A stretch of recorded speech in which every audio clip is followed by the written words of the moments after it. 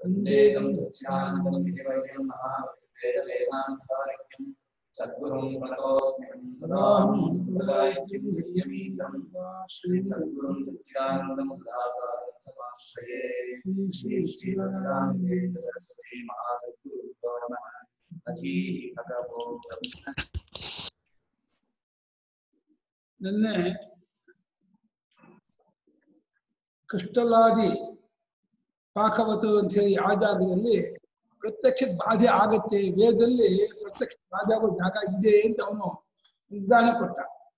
ಅಕ್ಕಿಯನ್ನ ಬೇಯಿಸುವ ಹಾಗೇನೆ ಚಿನ್ನದ ಗುಂಡನ್ನು ಬೇಯಿಸ್ಬೇಕು ಅಂತಂದ್ರೆ ಚಿನ್ನದ ಗುಂಡು ಬೇಯೋದಿಲ್ವಲ್ಲ ಅನ್ನುವಂತಹ ಪ್ರತ್ಯಕ್ಷ ವಿರೋಧ ಬಂದಾಗ ಅದೇನ್ ಮಾಡಿ ವಾಕ್ಯವನ್ನೇ ಗೋಣ ಮಾಡ್ಬಿಟ್ರು. ಅದೇ ಬಿಸಿ ಮಾಡ್ಬೇಕು ಅಷ್ಟೇ ಅದೇ ರೀತಿ ಆ ದುಃಖಿಯಾಗಿದ್ದೀನಿ ಪ್ರತ್ಯಕ್ಷ ಗೊತ್ತಾಗ್ತಿರ್ಬೇಕಾದ್ರೆ ನೀನ್ ದುಃಖಿ ಅಲ್ಲ ಅಂತಂದ್ರೆ ದುಃಖಿ ಅಲ್ಲ ಅನ್ನೋ ವಾಕ್ಯ ಗೌಣ ದುರ್ಬಲ ಆಗುತ್ತೆ ಹೊರತು ನಾನು ದುಃಖಿನೋ ಪ್ರತ್ಯಕ್ಷ ಪ್ರಬಲ ಆಗತ್ತಲ್ಲ ಅಂತ ಆ ವಿಷಯ ಇವತ್ತು ಎತ್ತಾ ಇದ್ದಾನೆ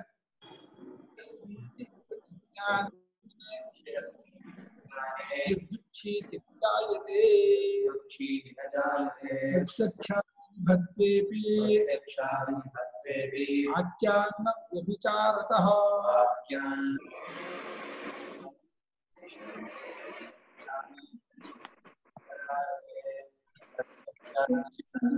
ವ್ಯಭಿಚಾರತಃ वाक्यान् व्यभिचारः दुःखी अस्मि इति अपि ज्ञाने निर्दुःखी इति न जायते प्रत्यक्षादिनिभत्वे अपि वाक्यात् विना विचारतः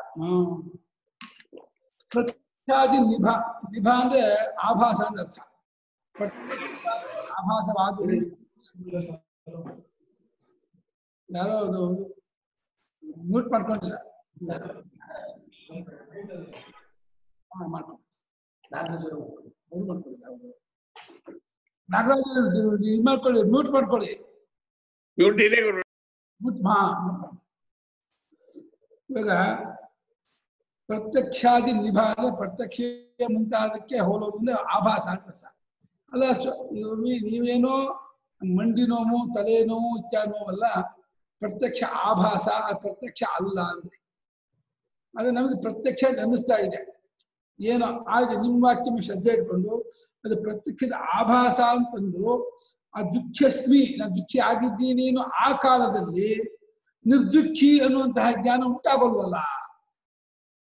ಆ ಕಾಲದಲ್ಲಿ ಯಾವ ಕಾಲದಲ್ಲಿ ನಾನು ದುಃಖಿ ಆಗಿರ್ತೀನೋ, ಅದೇ ಕಾಲದಲ್ಲಿ ನಾನು ದುಃಖಿ ಅಲ್ಲ ನೀವಂದ್ರೆ ನಂಗೆ ಒಪ್ಪಕ್ಕೆ ಆಗಲ್ವಲ್ಲ. ದುಃಖಿ ಆಗಿದ್ದೀನಿ, ನಂಗೆ ಸ್ಪಷ್ಟವಾಗಿ ಅನ್ಸತ್ತಲ್ಲ. ಈ ದುಃಖಿ ಅಲ್ಲ ಅಕ್ಕಿ ಅಲ್ಲ ಅಂದ್ಬಿಟ್ಟು ಮಾತಕ್ಕೆ ಇದಕ್ಕೆ ದುಃಖಿ ಅಲ್ಲದೆ ಹೋಗ್ತೀನ? ಇದೆಂಗ್ ಹೊಂದತ್ತೆ? ಅಂತ ಆಕ್ಷೇಪ. ಅದು ಯಾವ್ದೇನ್ ಮಾಡ್ಕೊಂಡ್ಬಿಟ್ಟ? ಇವಾಗ ದುಃಖ ಆಗ್ತಾ ಇರೋದು ಪ್ರತ್ಯಕ್ಷವೋ ಅಭಿಮಾನ? ಪ್ರತ್ಯಕ್ಷ ಅಂದ್ರೆ ಅಮ್ಮ ಇಲ್ಲ, ಮಾಡ್ಕೊಳ್ಳಿ ಅದು ಹಾಕ್ದಾಗ ಒಂದೇ ಒಂದ್ ನಿಮಿಷ ಒಂದ್ ಸೆಕೆಂಡ್ ಆಮೇಲೆ ಸರಿ. ಅಷ್ಟೇ. ವಾಣಿ ಮ್ಯೂಟ್ ಮಾಡ್ಕೊಳ್ಳಿ ವಾ- ಹಾ ಪ್ರತ್ಯಕ್ಷಾದಿ ಇವಾಗ ತಲೆನೋವೋ ಹೊಟ್ಟೆ ನೋವೋ ಮಂಡಿ ನೋವೋ ಇನ್ನೇನೋ ಬೇಜಾರೋ, ಏನೇ ಇರಲಿ, ಅದು ಪ್ರತ್ಯಕ್ಷಾಭಾಸ ಅಂತ ಇವಾಗ ಅದು ಪ್ರತ್ಯಕ್ಷ ಅಂತ ಅವನಂತಾನೆ. ಪ್ರತ್ಯಕ್ಷವೋ, ಅಭಿಮಾನವೋ, ಅಭಿಮಾನದಿಂದ ದುಃಖ ಆಗುತ್ತೋ, ಪ್ರತ್ಯಕ್ಷದಿಂದ ದುಃಖ ಆಗುತ್ತೋ ವಿಚಾರ ಮಾಡಿದ್ರೆ ಯಾವುದಕ್ಕೆ ಅದು ಇದು ಕೊಡುತ್ತೆ ಕೊಡುತ್ತೆ ಪ್ರತ್ಯಕ್ಷಕ್ಕೆ ಕೊಡುತ್ತೋ ಅಭಿಮಾನಕ್ಕೆ ಕೊಡುತ್ತೋ ಪ್ರತ್ಯಕ್ಷವೇ ಆಗಿದ್ದರೆ ಅದು ಅದು ಇದಾಗಬಾರ್ದು. ಯಾವಾಗ ಅದು ಪ್ರತ್ಯಕ್ಷವೂ ಅದ್ರೊಳಗೆ ಸೇರಿದೆಯೋ ಬಿಟ್ಟಿದೆಯೋ ಕಣ್ಣಿನ ನೋವು ಕಣ್ಣಿಗೆ ವಿಷಯವಾಗತ್ತೆ ಅಂದ್ರೆ ಹೆಂಗೆ? ಅಕ್ಷ ಅಂದ್ರೆ ಇಂದ್ರಿಯ. ಇಂದ್ರಿಯ, ಇಂದ್ರಿಯದ ನೋವು ಇಂದ್ರಿಯಕ್ಕೆ ವಿಷಯವಾಗತ್ತೆ ಅಂದ್ರೆ ಅದು ಕರ್ಮ ಕರ್ಸೋ ವಿರೋಧ. ತಾನೇ ಕರ್ಸು ತಾನೇ ಕರ್ಮ ಆಗೋಲ್ಲ ಒಂದು. ಆಮೇಲೆ ಅವ್ರೇನಂತಿದ್ದಾರೆ ದೇಹ ಈ ವೇದನೆ ಆಗಲ್ಲಪ್ಪ. ಅಭಿಮಾನದಿಂದ ಆಗೋದು ಪ್ರತ್ಯಕ್ಷವಾದಾಗ ಅದ್ ನೇರ ಗೊತ್ತಾಗ್ತಿರುವಾಗ ಇಂದ್ರಿಯದಿಂದ ಆದದ್ದು ಆದದ್ದು ಅಂತಂದ್ರೆ ಅದನ್ನ ಹೆಂಗ್ ಒಪ್ಪಕ್ಕಾಗತ್ತೆ ಇಂದ್ರಿಯದಿಂದ ಆದದ್ದಾದ ಗಡಿಗೆಯ ಜ್ಞಾನ, ಪ್ರತ್ಯಕ್ಷ ಜ್ಞಾನ. ವಸ್ತು ಇದ್ರ ಪುಸ್ತಕ ಜ್ಞಾನ ಪುಸ್ತಕ ಪ್ರತ್ಯಕ್ಷ ಜ್ಞಾನ. ಆದರೆ ನನಗೆ ಕೈ ನೋವು, ಕಾಲು ನೋವು, ತಲೆ ನೋವು, ಇತ್ಯಾದಿ ನೋವುಗಳು ಪ್ರತ್ಯಕ್ಷ ಜ್ಞಾನವೋ, ಅಭಿಮಾನ ಜ್ಞಾನವೋ ಯಾವುದು ಹೇಗೆ ಹೇಗೆ ತೀರ್ಮಾನ ಮಾಡೋಣ? ಪ್ರತ್ಯಕ್ಷ ಜ್ಞಾನವಾಗಿದ್ದರೆ ಅವಾಗ ಏನಾಗ್ತಿತ್ತು? ಪ್ರತ್ಯಕ್ಷ ಹೊರಗಡೆಯೂ ನೋಡೋದ್ರಿಂದ ಒಳಗಡೆಯೂ ನೋಡುತ್ತೆ ಅಂತ ಆಗ್ಬಿಡುತ್ತೆ. ಪ್ರತ್ಯಕ್ಷಕ್ಕೆ ಒಳಗಡೆ ವ್ಯಾಪಾರ ಇಲ್ಲಪ್ಪ. ಏನ್ ಮಾಡ್ಬೇಕು ಅಂತಂದ್ರೆ ಮಾನಸ ಪ್ರತ್ಯಕ್ಷ ಜ್ಞಾನ ಅಂತ ಅನ್ಕೋಬೇಕು. ಅದು ಮನಸ್ಸಿಗೂ ಕೂಡ ಅದು ಆ ನೋವು ಗೊತ್ತಾಗತ್ತೆ ಅಂತ ನಾವು ಬಂದ್ರೆ ಗೊತ್ತಾಗಿಸಿಕೊಂಡ ನೋವು, ಗೊತ್ತು ಮಾಡಿಕೊಂಡ ಮನಸ್ಸು ಬೇರೆಯಾಗಿದ್ದಾಗ ಮನಸ್ಸಿಗೆ ಆ ನೋವು ಅನುಭವ ಆಗುತ್ತೋ, ಬರೀ ವಿಷಯವಾಗುತ್ತೋ ಬರೀ ಹೊರಗಿರೋ ಘಟಪಟಾದಿಗಳು ವಿಷಯವಾಗುವ ಹಾಗೇನೆ ನೋವು ವಿಷಯವಾದರೆ ಅದು ಅವನಿಗಿಲ್ಲ ಅಂತ ಆಗುತ್ತೆ ಮನಸ್ಸಿಗೆ ಸೇರಿದ್ರೆ ಮನಸ್ಸಿಗೆ ಸೇರಿದ್ದಾಗ ನೋವು ಮನಸ್ಸಿಗೆ ವಿಷಯವಾಗಲ್ಲಪ್ಪ. ಹೇಗೆ ಮನಸ್ಸು ಮನಸ್ಸಿಗೆ ವಿಷಯವಾಗಲ್ವಾ? ಮನಸ್ಸಿಗೆ ಸೇರಿದ್ದಾಗ ನೋವಾದ್ರೆ ಅದು ಮನಸ್ಸಿಗೆ ವಿಷಯವಾಗಬಾರ್ದು. ವೇದನಾನುಭವ ಅಲ್ವಾ ಅದು? ವೇದನಾನುಭವವೇ ಹೇಳ ವೇದನಾನುಭವ ಅಂತ ನಾವು ಅಂತೀವಿ ಹೆಸರು ಕೊಟ್ಟಿದ್ದೀವಿ. ಅದು ವೇದನಾನುಭವ ಅನ್ನೋದು ಅಭಿಮಾನದಿಂದ ಆಗ್ತಾ ಇದೆಯೋ ನಿಜವಾಗಿಯೂ ಅದು ಅರಿವಿಗೆ ಪ್ರತ್ಯಕ್ಷ ಪ್ರತ್ಯಕ್ಷ ಗೋಚರ ಆಗ್ತಾ ಇದೆಯೋ. ಅಭಿಮಾನದಿಂದ ಆಗ್ತಾ ಇದೆ. ಅಭಿಮಾನದಿಂದ ಆದ ಅಭಿಮಾನ ಬಿಟ್ರೆ ಇಲ್ಲ ಅಂತ ಒಪ್ಕೋಬೇಕು ಅವಾಗ. ಅಭಿಮಾನದಿಂದ ಆದದ್ದು. ಅದರಿಂದ ತಾನೇ ರಮಣ ಮಹರ್ಷಿಗಳು ಅವರೆಲ್ಲ ಕ್ಯಾನ್ಸರ್ ಆಪರೇಷನ್ ಮಾಡಿದಾಗ್ಲೂ ನೋವು ಅನ್ಭವಿಸ್ ಹಾಗೆ ಇವಾಗ ಅವನೇನಂತಿದ್ದಾನೆ ನಾನು ದುಃಖಿಯಾಗಿದ್ದೀನಿ ಪ್ರತ್ಯಕ್ಷ ಅಂತ ಇದ್ದಾನೆ ಪ್ರತ್ಯಕ್ಷವಾದರೂ ಅದು ನಿನಗಿಲ್ಲ ಅಂತ ಆಗತ್ತೆ ಯಾಕಂದ್ರೆ ಕುರ್ಚಿ ಪ್ರತ್ಯಕ್ಷ ಅಂದ್ರೆ ಕುರ್ಚಿ ನನಗಿಲ್ಲಪ್ಪ. ಯಾವುದು ಪ್ರತ್ಯಕ್ಷವೋ ಅದು ವಿಷಯ. ಯಾವುದು ಇಂದ್ರಿಯವೋ ಅದು ವಿಷಯಿ. ಇಂದ್ರಿಯ ವಿಷಯಿ, ಆ ನೋವು ವಿಷಯ ಅಂತ ಆದ್ರೆ ವಿಷಯ ವಿಷಯಗಳ ಸಂಬಂಧ ಹೆಂಗಾಗತ್ತೆ? ವಿಷಯ ವಿಷಯ ಸಂಬಂಧ ಆಗೋ ಕಾರಣ ಇಲ್ಲ. ಹಾಗಾಗಿ ನಾನು ದುಃಖಿಯಾಗಿದ್ದೀನಿ ಅನ್ನೋದು ವಿಷಯ ಅಂತಂದ್ರೆ ವಿಷಯವಾದ ದುಃಖ, ವಿಷಯ ಆದ ಹೆಂಗ್ ಸೇರ್ಕೊಳುತ್ತೆ? ನಂಗೆ ಸೇರ್ಕೊಂಡಿದೆ ನಂಗೆ ಸೇರ್ಕೊಂಡಿದೆ ಅವನು ಅಭಿಮಾನ ಪಡ್ಕೊಳ್ತಾ ಇದ್ದಾನೆ. ಇನ್ನು ಪ್ರತ್ಯಕ್ಷ ಅಂತ ಅಂತಿದೀಯಾ? ವಿವೇಕ ಅಲ್ಲಿ ಪ್ರತ್ಯಕ್ಷ ಅಂತಿದೆಯಾ? ಇದು ಪ್ರತ್ಯಕ್ಷ ಆಭಾಸ ಅಂತ. ಆಯ್ತು ಸ್ವಾಮಿ, ಪ್ರತ್ಯಕ್ಷ ಆಭಾಸ ಅಂತಂದು ದುಃಖಿಯಾಗಿದ್ದೀನಿ ಅಂತ ಅದ ಅನುಭವ ಫೀಲಿಂಗ್ ಆಗ್ತಿರ್ಬೇಕಾದ್ರೆ ಈ ದುಃಖಿ ಅಲ್ಲ ಅನ್ನೋ ವಾಕ್ಯ ದುರ್ಬಲ ಆಗತ್ತಲ್ಲ. ನನ್ ಫೀಲಿಂಗ್ ಆಗ್ತಾ ಇದೆ, ದುಃಖಿ ಆಗ್ತಿದೆ ಅಂತ. ದುಃಖಿ ಅಲ್ಲ ಅನ್ನೋ ವಾಕ್ಯ ಹುಟ್ಟೋದಿಲ್ವಲ್ಲ ಅಂತಂದ್ರೆ ನಾ ಅದು ಆಗೋಲ್ಲ ಅಂತ. ಯಾಕೆಂದ್ರೆ ವ್ಯಭಿಚಾರತಃ ಅಂತ ಹೇತು ಕೊಟ್ಟರು ವ್ಯಭಿಚಾರ ಬಿಟ್ಟು ಹೋಗುತ್ತೆ ಎಂದು. ನಿನಗಾಗಿದ್ರೆ ಬಿಟ್ಟು ಹೋಗ್ಬಾರ್ದು. ಬಿಟ್ಟು ಹೋದ್ರೆ ನಿನಗಾಗಿಲ್ಲ ಅಂತ. ಅಷ್ಟೇ ಅಲ್ಲ ಆ ದುಃಖ ಉಂಟಾದ ಮುಂಚೆ ದುಃಖ ಇಲ್ಲ. ದುಃಖ ಹೋದ್ಮೇಲೂ ದುಃಖ ಇಲ್ಲ. ನಿರಂತರ ದುಃಖ ಆಗೋಲ್ಲ. ಗುರುಗಳೇ ನಾನಾದ್ರೆ ಬಿಟ್ಟು ಹೋಗ್ಬಾರ್ದು. ನನಗಾಗಿದ್ದು ಬಿಟ್ಟು ಹೋಗ್ಬೋದಲ್ವಾ? ಅಲ್ಲ ನನಗಾದದ್ದು ನನಗೆ ಅಂದ್ರೆ ಆಗಿದ್ದು ಅನ್ನೋ ಪದದ ಅರ್ಥನೇ ಬಂದಿದ್ದು ಹೋಗಿದ್ದು ಅಂತ ನನಗಾಗಿದ್ದು ನನಗೆ ಸಂಬಂಧ ಪಟ್ಕೊಂಡಾಗಿ ನನಗಾಗಿದೆಯೋ, ಅಭಿಮಾನ ಪಟ್ಕೊಂಡು ನನಗಾಗಿದೆಯೋ, ಅಭಿಮಾನ ಪಟ್ಕೊಂಡು ನನಗಾಗಿದ್ದು ಅಭಿಮಾನ ಬಿಟ್ಟರೆ ಇಲ್ಲ ಅಂತಾನೆ. ನನಗಾಗಿದ್ದು ನೀನು ಅಭಿಮಾನ ಪಟ್ಕೊಂಡು ನನಗೊಂದು ಇವಾಗ ನನ್ನ ಮಗನಿಗೆ ಆದಂತಹ ಕಷ್ಟ ನನಗೆ ನಂದ ಹಾಗೆ. ನನ್ನ ಮಗನಿಗೆ ಆದ ಕಷ್ಟ ನನಗೆ ನಂದ ಹಾಗೇನೆ ನನ್ನ ದೇಹಕ್ಕಾದ ಕಷ್ಟ ನಂದು ಅಂತ ಅಭಿಮಾನವೇ ಹೊರತು ವಸ್ತುಸ್ಥಿತಿ ಅಲ್ಲಪ್ಪ ಅದು ವಸ್ತುಸ್ಥಿತಿ ಆದರೆ ನಾನು ಇಂದ್ರಿಯ ದೇಹ ದೇಹ ಇಂದ್ರಿಯ ಮನಸ್ಸು ಬುದ್ಧಿ ನಾನು ಅಲ್ದೇ ಇರುವಾಗ ನನಗಾಗಿದ್ದು ಅಂತಂದ್ರೆ ಅದ್ಯಾವ್ದ್ರಲ್ಲಾದ್ರೂ ಆಗಿದ್ದನ್ನು ನನಗ್ ಅನುಭವ ಆಗ್ಬೋದಲ್ಲ. ಅಲ್ಲ ನನಗ ಅನುಭವ ಅಂತ ಅಂದಾಗ ನಾವು ಏನ್ ಮಾಡ್ತಿದೀವಿ? ಅಭಿಮಾನದಿಂದ ಆದದ್ದು ನನಗಾದದ್ದು ಸೇರಿಸ್ಕೊಳ್ತಾ ಇದೀವಿ. ಅಭಿಮಾನ ಆ ಇಂದ್ರಿಯಗಳ ಮೇಲೆ ಆ ಉಪಾಧಿಗಳ ಮೇಲೆ ಅದೇ ಪ್ರಯೋಜನ ಇಲ್ಲ. ಅಭಿಮಾನದಿಂದ ಮಾಡ್ಕೊಂಡು ನಂದೇ ನಂದು ಅಂತ ಆಗೋಲ್ಲಪ್ಪ. ಅಭಿಮಾನ ಮಾತ್ರವೇ ಅದು. ಅಭಿಮಾನ ಬಿಟ್ಟರೆ ಇಲ್ಲ. ಅದಕ್ಕೆ ಹೇಳ್ತಾ ಅವರು ಇದನ್ನ ವ್ಯಭಿಚಾರ ಅಹಂ ಬಿಟ್ಟು ಹೋಗೋದ್ರಿಂದ ಅಂದ್ರೆ ದಾ, ಅಹಂ ದಾಹಚ್ಛೇದಾದಿ ಹೇತುತಃ ದುಃಖಿ ಅಧ್ಯಾಸಂ ಇತಿ ಜ್ಞಾನಂ ಹಿ ಬಾಧ್ಯತೆ. ನಾನು ಸುಡಿಸ್ಕೊಂಡ್ರೆ ನಾನು ಕತ್ತರಿಸ್ಕೊಂಡ್ರೆ, ಈ ಕಾರಣದಿಂದ ದುಃಖಿ ಅಂತ ಹೇಳಿ ಒಂದು ಅಧ್ಯಾಸ ಉಂಟಾಗುತ್ತೆ, ತಪ್ಪಿಗೆ ಉಂಟಾಗುತ್ತೆ. ಕತ್ತರಿಸೋಗಿರೋದು ಬೆರಳು, ಸುಟ್ಟು ಸುಡಿಸ್ಕೊಂಡ್ರದ್ದು ಬೆರಳು. ಆ ಬೆರಳಿಗೂ ನನಗೂ ಅಧ್ಯಾಸ ಮಾಡ್ಕೋಬೇಕು. ನಾನೇ ಬೆರಳಾಗ್ಬೇಕು. ನಾನೇ ಬೆರಳಾದಾಗ ಅವಾಗ ಬೆರಳಿನ ನಿಂತು ದುಃಖ ಆಗತ್ತೆ ಅಂತ. ಹೇಗೆ ನಿದ್ರೆಯಲ್ಲಿ ಅಧ್ಯಾಸ ಇರುವುದಿಲ್ಲವಾದ್ರಿಂದ ಬೆರಳಿನ ನೋವಿದ್ದು ನೋವು ಆಗ ಅನುಭವ ಆಗೋದೇ ಇಲ್ಲ. ನೋವಿದ್ದಾಗ ಹಾಗೆ ನಿದ್ದೆ ಬಂದ್ಬಿಡ್ತು ತಿಳ್ಕೊಳ್ಳಿ. ಅವಾಗ ನೋವಿನ ಅನುಭವ ಆಗೋದೇ ಇಲ್ಲ. ಅವಾಗ ಏನಾಯ್ತು? ಸಂಬಂಧ ಪಟ್ಕೊಂಡಾಗ ಅಭಿಮಾನದಿಂದ ಆಗುತ್ತಾ ಇದೆ ಹೊರತು ಈಗ ಆಗಿಲ್ಲ. ಆದರೆ ಇದು ಪ್ರತ್ಯಕ್ಷವಲ್ಲ. ಬರೀ ಪ್ರತ್ಯಕ್ಷ ಆಭಾಸ. ಅದು ಅಭಿಮಾನದಿಂದಲೇ ಆಗಿರೋದು ಹೊರತು ಅಭಿಮಾನ ಬಿಟ್ರೆ ಯಾವಾಗ ದುಃಖ ಇಲ್ಲ ಅಂತ ಸ್ವಪ್ನೆ ದುಃಖ ಮಧ್ಯಾಸಂ ಸ್ವಪ್ನೆ ದುಃಖ ಮಧ್ಯಾಸಂ ಯಾಹಚ್ಛೇದಾದಿ ಹೇತುತಃ ಯಾಹಚ್ಛೇದಾದಿ ಹೇತುತಃ ತತ್ಕಾಲ ಭಾವಿ ಭಿರ್ವಾಕ್ಯೈಃ ತತ್ಕಾಲ ಭಾವಿ ಭಿರ್ವಾಕ್ಯೈಃ ನವಾದ ಕ್ರಿಯತೆ ಯದಿ ನವಾದ ಕ್ರಿಯತೆ ಯದಿ स्वप्ने दुःख्यमध्यासङ्गाच्छेदादिहेतुकः तत्कालभाविर्वाक्यैर्नवातः क्रियते यदि स्वप्ने दुःखी अहम् अध्यासं देहच्छे ದಾ देहच्छेदादि ದಾ ದಾ दಾ दाहच्छेदादि हेतुतः ಮುಂದೆ ಪದ दाहच्छेदादि हेतुतः तत्कालभाविभिः वाक्यैः न बाधः क्रियते यदि ಅಲ್ಲ ಪೂರ್ವ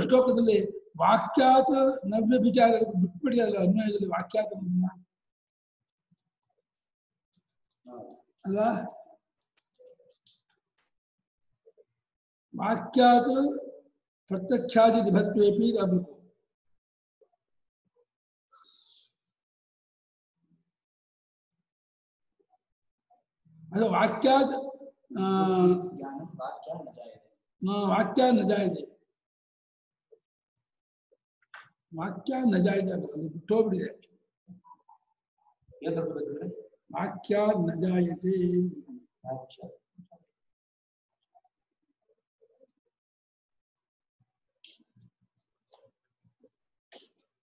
ವಾಕ್ಯ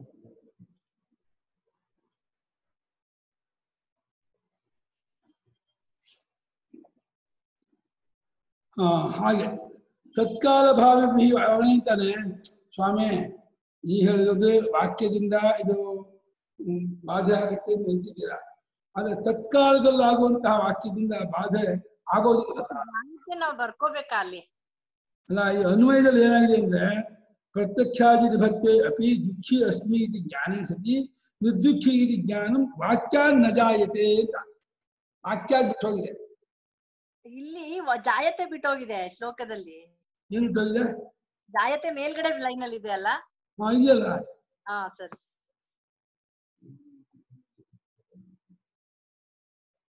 ಅದಕ್ಕೆ ನಾ ವ್ಯಭಿಚಾರತಃ ಅಂದ್ರು ಅಂದ್ರೆ ಅಹಂ ದಾಹಚ್ಛೇದಾದಿ ಹೇತಃ ದುಃಖಿ ಅಧ್ಯಾಸ ಇತಿ ಜ್ಞಾನಂ ಹಿ ಬಾಧ್ಯತೆ ದಾಹಚ್ಛೇದಾದ ನಿಮಿತ್ತನುಂಟಾದ ದುಃಖಿಯ ಜ್ಞಾನ ಬಾಧೆ ಆಗತ್ತೆ ಇದು ಅಂದ್ರೆ ತತ್ಕಾಲ ಭಾವಿ ವಾಕ್ಯ ಬಾಧಾಗಳನ್ನಲ್ಲ ಇದಕ್ಕೆ ಅಂತಾನೆ ಆ ಆ ಕಾಲದಲ್ಲಿ ವಾಕ್ಯಗಳಿಂದ ಬಾಧೆ ಆಗುವುದಿಲ್ಲವಲ್ಲ ಅಂತ ದುಃಖ ಆಗುವಾಗ ದುಃಖ ಅಭಿಮಾನದಿಂದ ದುಃಖ ಎಂದೆ. ದುಃಖ ಆಗುತ್ತಿರುವಾಗ ಆಗ ವಾಕ್ಯ ಬಂದು ಅದನ್ನ ಬಾಧೆ ಮಾಡೋಲ್ವಲ್ಲ?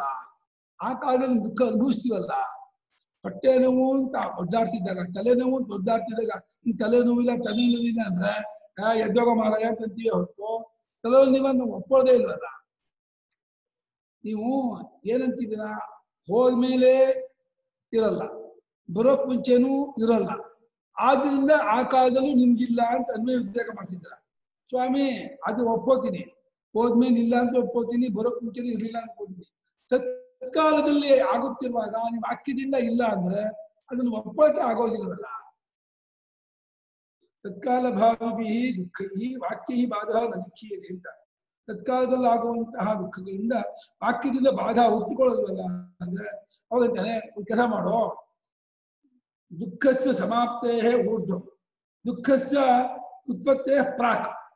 ದುಃಖ ಮುಗಿದು ಹೋದ ಮೇಲೆ, ದುಃಖ ಉಂಟಾಗೋಕ್ ಮುಂಚೆ, ಅದು ಬಾಧೆ ಒಪ್ಪೋತೀಯಾ ಅದು ಅದಿರಲ್ಲ ಅಂತ ಒಪ್ಪೋತೀಯಾ ಇದನ್ನು ಏನ್ ಮಾಡ್ತಾರೆ ಅಂದ್ರೆ, ಆದಾವಂತೇಶ ಎನ್ನಾಸ್ತಿ, ವರ್ತಮಾನೇಪಿ ತತ್ತಥ ಇದನ್ನು ಯುಕ್ತಿ ತಗೊಂಡ್ಬರ್ತಾರೆ.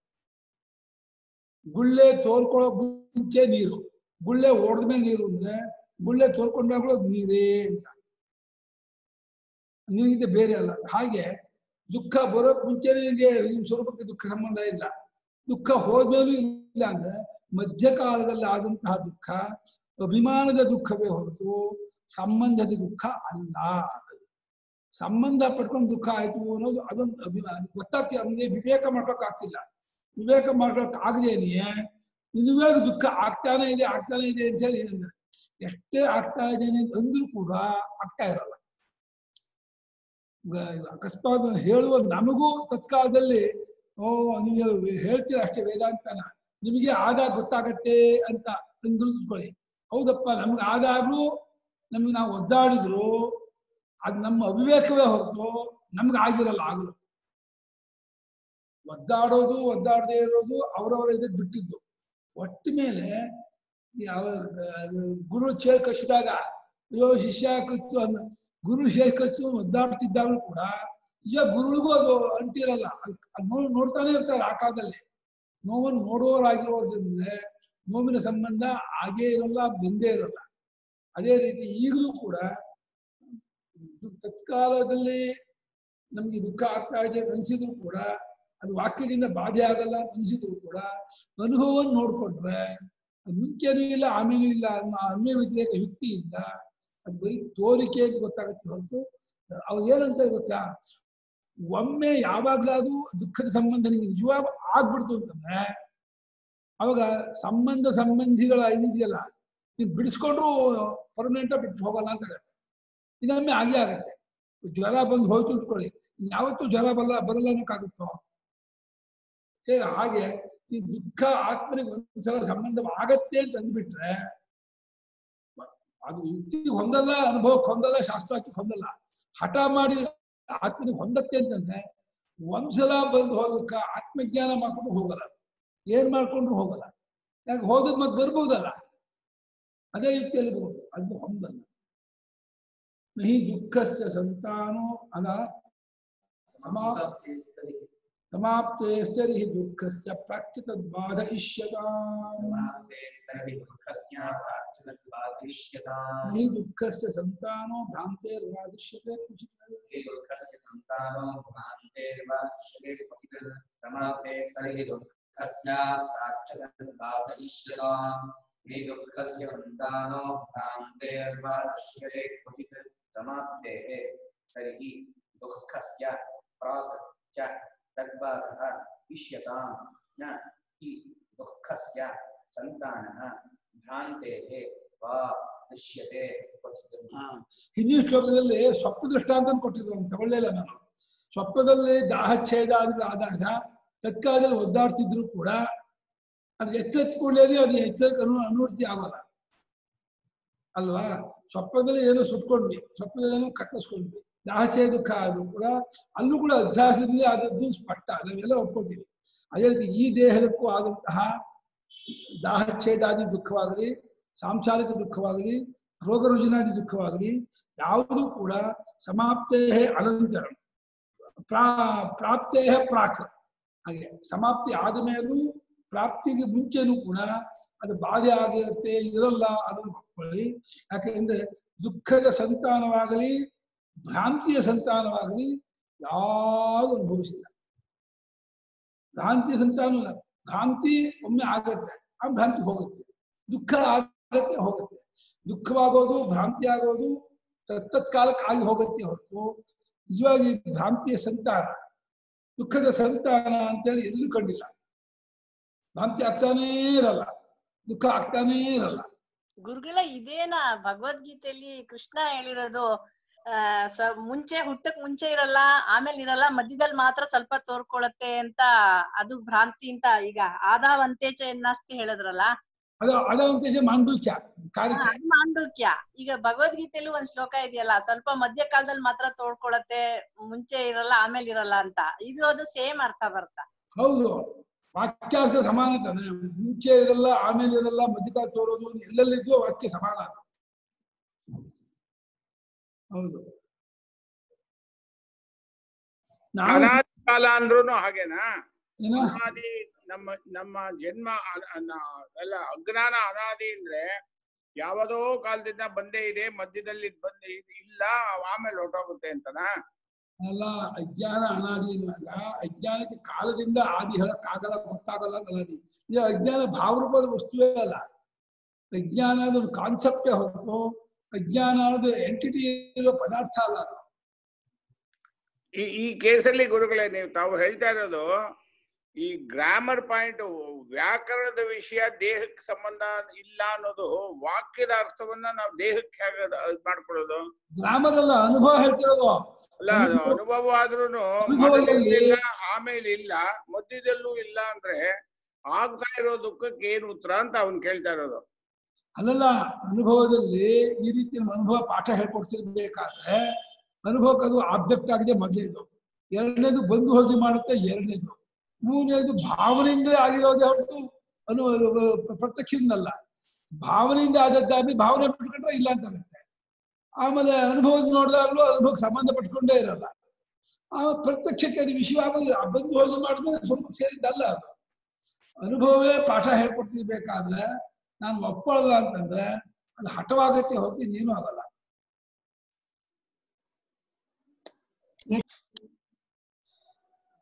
ನೀವು ಕೇಳ್ತಾ ಕೇಳಿಸ್ತಾ ಇಲ್ಲ.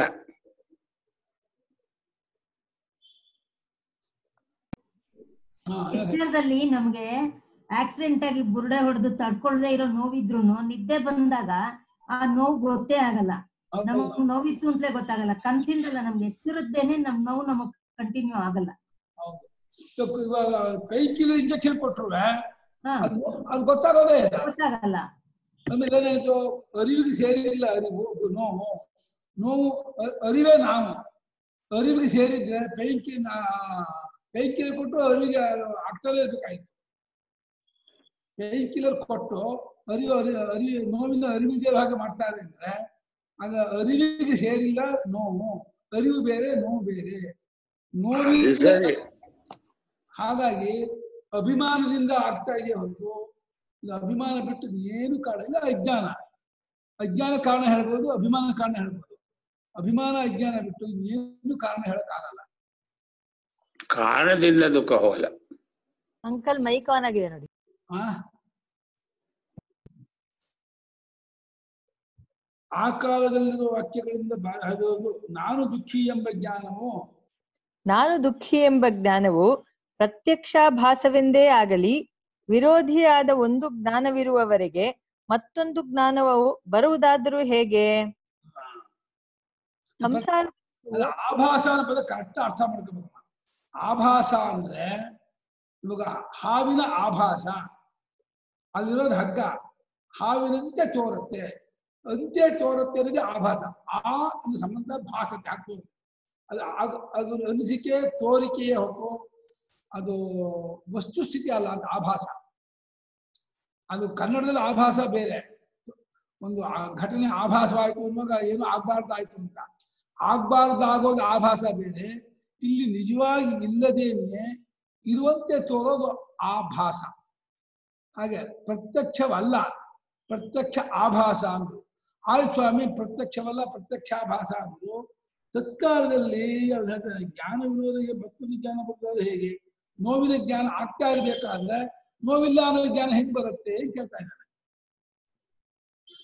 ಸಂಸಾರ ದುಃಖವು ಇದ್ದೇ ಇರುವಾಗ ಅದು ವಾಕ್ಯ ಜ್ಞಾನದಿಂದ ಹೋಗುವುದು ಹೇಗೆ ಎಂದು ಆಕ್ಷೇಪಿಸಬಾರದು. ಏಕೆಂದರೆ ಕನಸಿನ ಜ್ಞಾನವು ಎಚ್ಚರದ ಜ್ಞಾನದಿಂದಲೂ ಭ್ರಾಂತಿ ಜ್ಞಾನವು ಸರಿಯಾದ ತಿಳುವಳಿಕೆಯಿಂದಲೂ ಬಾಧಿತವಾಗುವುದು ಅನುಭವದಲ್ಲಿದೆ. ತಪ್ಪು ತಿಳುವಳಿಕೆ ಇರುವವರೆಗೆ ಅದು ಬಾಧಿತವಾಗಲಾರದೆಂದು ತೋರುವುದು ಸ್ವಾಭಾವಿಕವೇ ಆಗಿದೆ. ಅಷ್ಟು ಮಾತ್ರದಿಂದ ಅದು ಅಬಾಧ್ಯವೆಂದಾಗಲಾರದು. ಭ್ರಾಂತಿ ಇರುವಾಗಲೇ ತತ್ಕಾಲದ ವಾಕ್ಯದ ಜ್ಞಾನದಿಂದ ಹೋಗುವುದೆಂದು ನಿರೀಕ್ಷಿಸಬಹುದೇ? ಎಂಬ ಆಕ್ಷೇಪಕ್ಕೆ ಪರಿಹಾರವೇನೆಂದರೆ ಕನಸಿನಲ್ಲಿಯೂ ಮತ್ತೊಬ್ಬನು ಹೇಳಿದ ವಾಕ್ಯದ ಜ್ಞಾನವು ನಮ್ಮ ಆಗಿನ ತಪ್ಪು ತಿಳುವಳಿಕೆಯನ್ನು ಕಳೆಯಬಹುದಾಗಿದೆ. ಸತ್ಕಾಲದಲ್ಲೂ ಒಂದು ಹಗ್ಗವನ್ನು ಹಾವು ಮಾಡಿಕೊಂಡಾಗ ಕನಸಿನಲ್ಲಿ ಏ ಹಾವಲ್ಲ ಕಣೋದು ಹಗ್ಗ ಅಂದಾಗ ಆ ತಪ್ಪಿಗೆ ಕನಸಲ್ಲಿ ಹೋಗುತ್ತೆ. ಗುರುಗಳ ಒಂಚೂರು ಕರೆಕ್ಷನ್ ಮಾಡ್ಕೋಬೇಕೇನೋ ಅಲ್ಲ? ಕಳೆಯ ಬಹುದಾಗಿದೆ ಅವರು ಇದಾಗಿದೆ ಇದೆ ಕಳೆಯ ಬಹುದಾಗಿದೆ.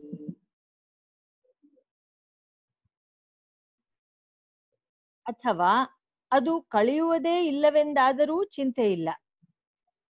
ಏಕೆಂದರೆ ಕನಸಾಗಲಿ ಭ್ರಾಂತಿಯಾಗಲಿ ಕರ್ತೃತ್ವಾದಿ ಜ್ಞಾನವಾಗಲಿ ಯಾರಿಗೂ ಸಂತತವಾಗಿರುವುದೆಂಬ ಅನುಭವವಿಲ್ಲ.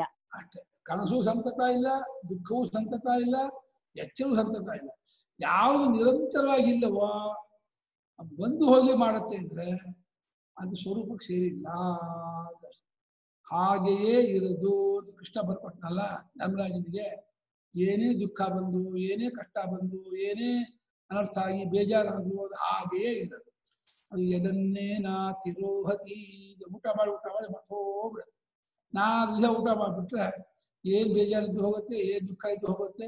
ಹೆಂಡತಿ ಕಟ್ಕೊಂಡು ದುಃಖ ಆಗಲಿ, ಮಕ್ಕ ಕಟ್ಕೊಂಡು ದುಃಖ ಆಗಲಿ, ಗಂಡ ಹೋದ ದುಃಖ ಆಗಲಿ, ದುಡ್ಡು ಕಟ್ಕೊಂಡು ದುಃಖ ಆಗಲಿ ಎಲ್ಲೂ ಊಟ ಮಾಡಿ ಊಟ ಮಾಡಿ. ಅನ್ನಕ್ಕೆ ಆ ಶಕ್ತಿ ಇದೆ. ಈ ಅನ್ನೋದು ಬ್ರಹ್ಮ ಅಂತೆ ಯಾಕೆ ಬ್ರಹ್ಮ ಹೇಳಿ? ನಮ್ಮ ಎಲ್ಲ ದುಃಖವನ್ನು ಕಷ್ಟವನ್ನು ಪರಿಹಾರ ನಾವು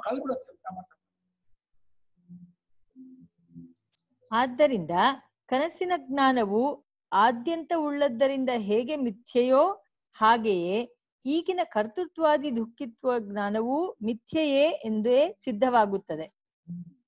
ಸುಷುಪ್ತಿಯಲ್ಲಿ ನಮಗೆ ಯಾವ ಭ್ರಾಂತಿಯಾಗಲಿ ದುಃಖಿತ್ವ ಜ್ಞಾನವಾಗಲಿ ಇರುವುದಿಲ್ಲ. ನಮ್ಮ ಆತ್ಮನೋ ಆಗಲೂ ಇರುತ್ತಾನೆ. ಆದ್ದರಿಂದ ನಮ್ಮ ಆತ್ಮನಿಗೆ ದುಃಖಿತ್ವವು ಸ್ವಭಾವವಲ್ಲ ಎಂದೇ ಏರ್ಪಡುತ್ತದೆ. ಯಾವುದು ನಮ್ಮ ಸ್ವಭಾವವಲ್ಲವೋ ಅದರ ಜ್ಞಾನವು ಬಾಧಿತವಾಗುವುದರಲ್ಲಿ ಆಶ್ಚರ್ಯವೇನು? ಸ್ವಭಾವವೇ ಅಲ್ಲ ಅಂದ್ರೆ ನಾವು ಸುಮ್ಮನೆ ಆರೋಪಿಸ್ಕೊಂಡಿರ್ತೀವಿ ಅರ್ಥ ಆರೋಪಿಸ್ಕೊಂಡು ಹೋಗೋದೇನು ಆಶ್ಚರ್ಯ? ಆರೋಪ ಬಿಟ್ಕೊಂಡ್ರೆ ಹೋಗುತ್ತೆ. ಅದು ಅಭ್ಯಾಸ ಮಾಡ್ಕೊತಾ ಹೋಗ್ಬೇಕು. ಆರೋಪ ಮಾಡ್ಕೊಂಡಿದ್ರೆ ನನಗಿಲ್ಲ ನಂದಲ್ಲ, ನಾನಲ್ಲ ಅಂತ ಜಪ ಮಾಡ್ತಾ ಅದು ಒಂದ್ ಕಡೆ ಬರ್ತಾ ಇರುತ್ತೆ ಬಂದು ಹೋಗ್ತಾ ಇರುತ್ತೆ. ಇದು ಕೊಚ್ಚೆ ಹಾಕೋತಾ ಇರೋದು ತೊಕೊಳ್ತಾ ಇರೋದು, ಎರಡೂ ಮಾಡ್ತಾ ಇರಬೇಕು ಆದ್ರೆ ಜೀವನ ಅದೇ, ಎಲ್ಲ ದುಃಖಗಳನ್ನು ಸಂಪಾದನೆ ಮಾಡ್ತಿರೋದು ದುಃಖದ ಯಾವಾಗ ಎಂಡು ಅಂತ ಹೇಳಿದ್ರೆ, ಯಾವಾಗ ಉಸಿರಿನ ಹೋಗುತ್ತೋ ಅವಾಗ ಎಂಡಾಗುತ್ತೆ ಅಂತ ಹೇಳುತ್ತೆ. ಜೀವನ ಪೂರ್ತಿ ಪಾಠ ಕಲಿಯೋದೇ ಆಗುತ್ತೆ. प्रत्यगात्मन आत्मत्व दुच्छस्मी तस्य बाधया। दशमं नवमस्येव। वेदचेद विरुद्धता प्रत्यगात्मन आत्मत्वं दुच्छस्मी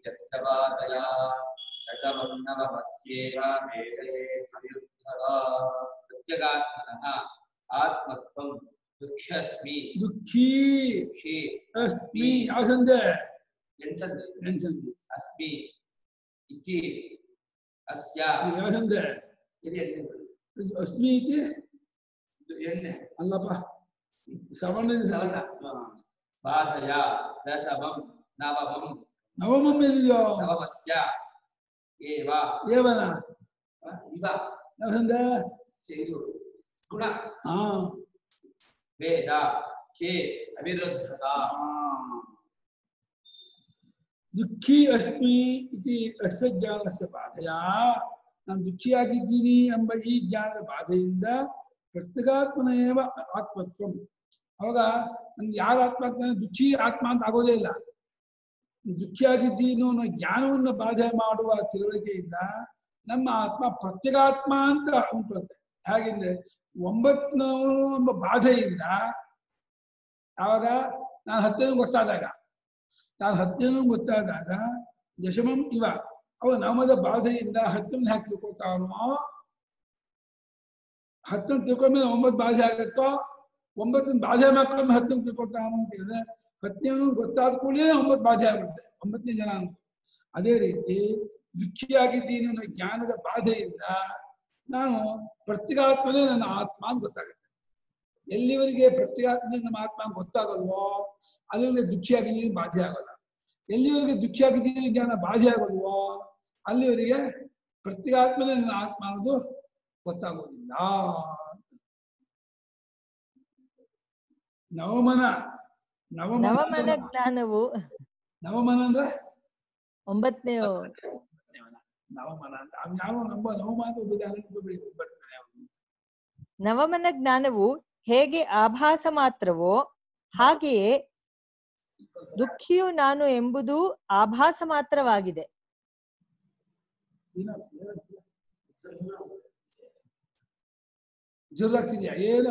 ಅವ್ರು ಅವ್ರು ಮಾತಾಡ್ತಾರೆ ನಂಗೆ ಏನಾಗ್ತಿಲ್ಲ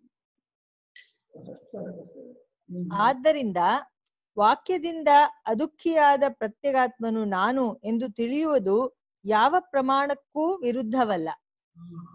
ಪ್ರಸಂಖ್ಯಾನವನ್ನು ಕಲ್ಪಿಸಿದರೆ ಬರುವ ಶ್ರುತಹಾನಿ ಅಶ್ರುತ ಕಲ್ಪನೆ ವೇದ ವೇದ ಅಪ್ರಾಮಾಣ್ಯ ಮುಕ್ತಿಯ ನಿತ್ಯತ್ವ ಮುಂತಾದ ದೋಷಗಳೂ ಇಲ್ಲಿಲ್ಲ.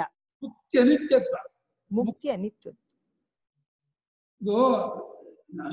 ವೇದ ವೇದ ಚೇತ್ ಅವಿರುದ್ಧ ತಾನು ವಿರೋಧವಿಲ್ಲ ಅಂದ್ರೆ ಏನೇನು ವಿರೋಧವಿಲ್ಲ ಅಂದ್ರೆ ಅಶ್ರುತವಾದ ಪ್ರಸಂಖ್ಯೆಯನ್ನು ಕಲ್ಪನೆ ಮಾಡೋ ಅವಶ್ಯಕತೆ ಇಲ್ಲ.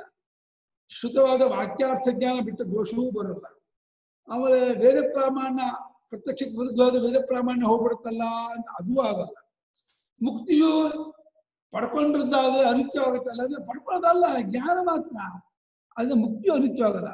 ಪ್ರಸಂಖ್ಯಾನವಾದ ಪ್ರಕಾರವಾಗಿಯೇ ವೇದ ಪ್ರಮಾಣವಲ್ಲ ಅಂತ ಆಗುತ್ತೆ ಏಕೆ ವೇದ ತಿಳಿಸ್ಕೊಟ್ರು ಪ್ರಸಂಖ್ಯಾದಿನ ಗೊತ್ತಾಗತ್ತೆ ಅಂದ್ರೆ ವೇದಿನ ಗೊತ್ತಾಗಲ್ಲ ಅಂತ ಆಗುತ್ತೆ ಪ್ರಸಂಖ್ಯಾದಿನ ಪಡ್ಕೊಂಡ್ರೆ ಪಡ್ಕೊಂಡ ಮುಕ್ತಿ ಅನಿತ್ಯವೂ ಆಗತ್ತೆ.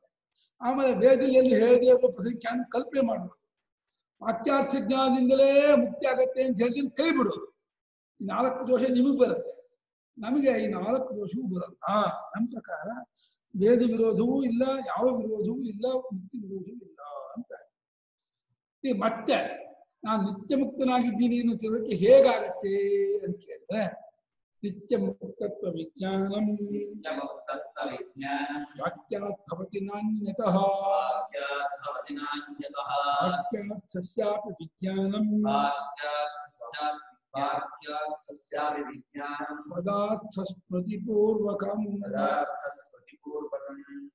पदार्थस्मृतिपूर्वकम् नित्यमुक्तत्वविज्ञानम् वाक्याद्भवति नान्यतः वाक्यार्थस्यापि विज्ञानम् पदार्थस्मृतिपूर्वकम् नित्यमुक्तत्वविज्ञानम् वाक्यात् भवति न अन्यतः वाक्यार्थस्य अपि विज्ञानम् पदार्थस्मृतिपूर्वकम् ಹ್ಮ್. ನಾನು ಎಂದೆಂದಿಗೂ ಮುಕ್ತನಾದವನೇ ಆಗಿರುತ್ತೇನೆ ಎಂಬ ತಿಳುವಳಿಕೆಯು ವಾಕ್ಯದಿಂದಲೇ ಆಗುವುದು ವಾಕ್ಯಾದೇವ ಅಂತ ಸ ವಾಕ್ಯ ವಾಕ್ಯಾದೇವ.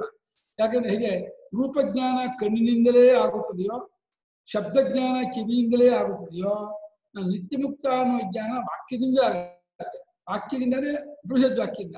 ಆಮೇಲೆ ಅದನ್ನು ಅದರ ಅರ್ಥ ಇಟ್ಕೊಂಡು ಕನ್ನಡ ವಾಕ್ಯವೂ ಆಗ್ಬಹುದು ಲೌಕಿಕ ಭಾಷೆ ವಾಕ್ಯವೂ ಆಗ್ಬೋದು.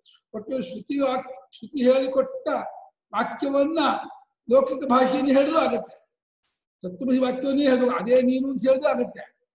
ತತ್ವಮಸಿ ಅಂತ ಹೇಳಬೇಕು, ಆ ಅಹಂ ಬ್ರಹ್ಮಾಸ್ಮಿ ಅಂತ ಹೇಳಬೇಕು ಅಂತ ಹಾಗೆ ಹೇಳ್ತಿಲ್ಲ. ಅದೇ ನೀನ ಇತ್ಯಾದಿ ಕನ್ನಡ ಭಾಷೆ ವಾಕ್ಯ ಆದರೂ ಅದು ಸಂಸ್ಕೃತ ಶ್ರುತಿ ವಾಕ್ಯವೇ ಅದು. ಆ- ಅದರ ಭಾಷೆಯನ್ನೇ ಹಾಗೆ ತಗೋಬೇಕು ಅಂತ ಹೇಳ್ತಾ ಇಲ್ಲ. ಆ ವಾಕ್ಯದ ಅರ್ಥವನ್ನು ಇಟ್ಕೊಂಡು ಯಾವ ಭಾಷೆ ಆದ್ರೂ ಸರಿ. ಅದು ವಾಕ್ಯದಿಂದಲೇ ನಾನು ಮುಕ್ತನಾಗಿದ್ದೀನಿ ತಿಳುವಳಿಕೆ ಆಗುತ್ತೆ ಅವರು ನಾ ಅನ್ಯತಃ ಬೇರೆಯಿಂದ ಆಗೋದಿಲ್ಲ ಆದರೆ ವಾಕ್ಯಾರ್ಥ ಜ್ಞಾನ ಹೇಗಾಗುತ್ತೆ ಅಂದ್ರೆ ವಾಕ್ಯದಲ್ಲಿರುವ ಪದಗಳ ಜ್ಞಾನದಿಂದ ಆಗುತ್ತೆ. ಪದಾರ್ಥ ಸ್ಮೃತಿ, ಸ್ಮೃತಿಯನ್ನು ನೆನಪಾಗಬೇಕು. ಇನ್ನು ನಾಯಿ ಅನ್ಕೊಳ್ಳಿ ನಾಯಿ ಜ್ಞಾಪಕ ಆಗ್ಬೇಕು. ಅವಾಗ ನಾಯಿ ಪದ ಕಷ್ಟ ಆಗುತ್ತೆ. ಹಸು ಅನ್ಕೊಳ್ಳಿ ಹಸು ಪದ ಜ್ಞಾಪಕ ಆಗ್ಬೇಕು. ಆ ಪದಾರ್ಥ ಜ್ಞಾನ ಇದೆ ನಾನು ಪದೋಚ್ಚಾರಣೆ ಮಾಡಿದಾಗ ಆ ವಸ್ತು ನಿಮಗೆ ಜ್ಞಾಪಕ ಆಗದೆ ಹೋದ್ರೆ ಆ ಆ ಪದಾರ್ಥ ಗೊತ್ತಾಗೋದೇ ಇಲ್ಲ. ಪುಸ್ತಕ ಅನ್ಕೊಳ್ಳೆ ಅವನಿಗೆ, ಹಾ, ಪುಸ್ತಕ ಅಂತ ಹೇಳ್ತಾ ಇದ್ದಾರೆ, ಗೊತ್ತಾಗುತ್ತೆ. ಹಾಗೆ ಅಹಂ ಅನ್ನುವಾಗ ಅಥವಾ ತೊಂಬಂದಾಗ ಅದು ಯಾವ್ದನ್ನ ಹೇಳ್ತಿದ್ದಾರೆ ಗೊತ್ತಾಗಬೇಕು. ಆ ತೊಂಬದಕ್ಕೆ ಅರ್ಥವೇ ಗೊತ್ತಿದೆ ದೇಹವನ್ನು, ಇಂದ್ರಿಯವನ್ನು, ಮನಸ್ಸನ್ನು, ಬುದ್ಧಿಯನ್ನು ಇಟ್ಕೊಂಡ್ರೆ ತಿಪ್ಪಲಾಗ ವಾಕ್ಯಾರ್ಥಕ್ಕೆಲ್ಲ ಆಗಲ್ಲ ವಾಕ್ಯದಲ್ಲಿರುವ ಪದಗಳ ಅರ್ಥವನ್ನ ನೆನೆಸಿಕೊಳ್ಳುವುದರ ಮೂಲಕವಾಗಿ ವಾಕ್ಯಾರ್ಥವಾಗತ್ತೆ ಆಮೇಲೆ